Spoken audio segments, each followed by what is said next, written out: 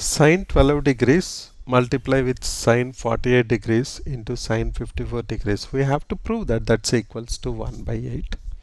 Now sine A into sine 60 minus A into sine 60 plus A equals to 1 by 4 sine 3A.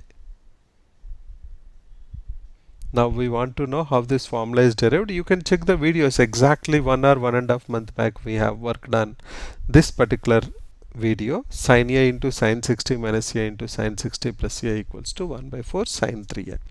Now let us consider a equals to 12 degrees. We see that part of this formula is available here. So we have sine 12 degrees into sine 60 minus 12 degrees into sine 60 plus 12 degrees equals to 1 by 4 sine 3a that is 1 by 4 into sine 36 degrees. Can we simplify that? We can write down in the next step sine 12 degrees multiply with sine 48 degrees multiply with sine 72 degrees equals to 1 by 4 into sine 36 degrees. So can we say that sine 12 degrees into sine 48 degrees equals to 1 by 4 into sine 36 degrees divided by sine 72 degrees.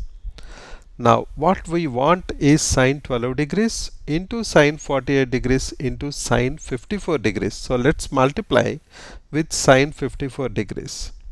So LHS now will be equal to 1 by 4 into sine 36 degrees divided by sine 72 degrees multiply with sine of 54 degrees. How can we write down sine 54 degrees? We want to change that into 36 degrees so we will write it as sine of 90 minus 36 degrees so that it will become cos 36 degrees.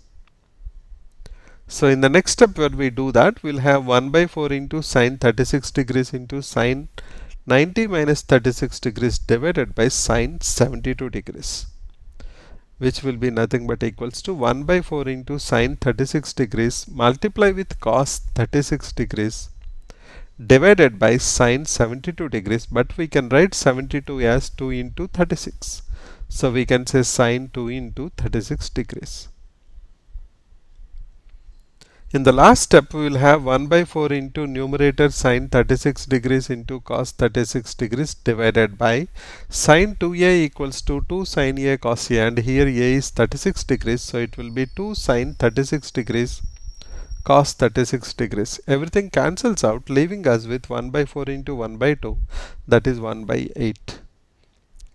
So sine 12 degrees multiply with sine 48 degrees multiply with sine 54 degrees that's how it is equals to 1 by 8.